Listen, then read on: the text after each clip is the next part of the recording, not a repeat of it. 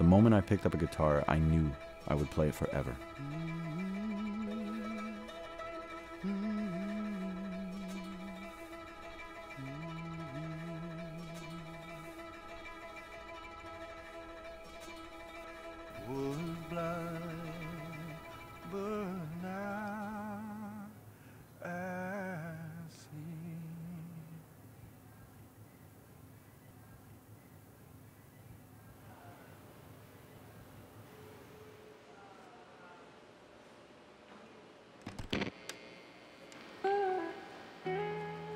You know, every gig that I've probably ever played, at least one person comes up to me and says something like, Don't worry, you're going to make it.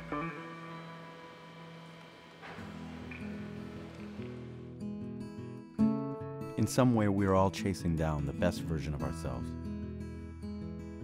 trying to hold on to that thing that makes us feel alive. Because otherwise, what are we left with? This year marks 30 years that I've been playing guitar, and there's been great highs and great lows. But every day I make art. Every day I try to express myself, and I do it through my music. I always knew I had to play guitar. It's always been right in front of me.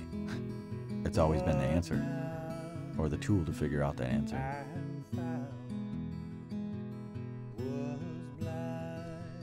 I was out playing bars, learning how to play blues and electric rock and roll in front of people.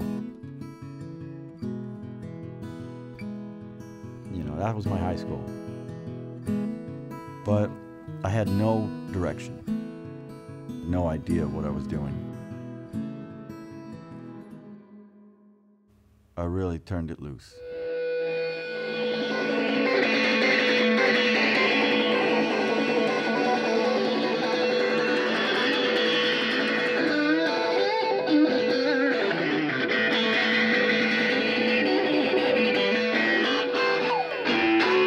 Thirty years ago, if you asked me what I was chasing, I wouldn't know what to say. I was just trying to make it. Say cheese. The first time that I saw the light, it was my family that I was going to lose. My daughter looked at me and she said, Daddy, what are you looking for? I looked at her face and I started crying and I said, Nothing, my love. freedom thanks for coming round.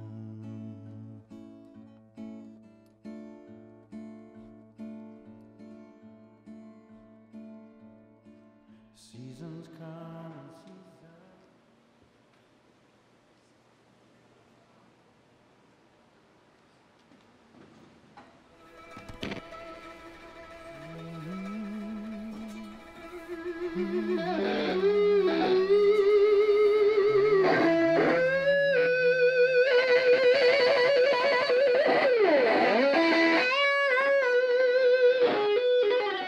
It's not every day that you create a masterpiece.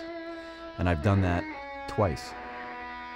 I have two daughters, and they are my magnum opus, my greatest song.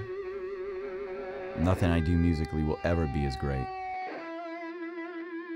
Compared to my family, it's all dust. And now I play my best music for them. Somehow I think I always have. According to them, I've already made it.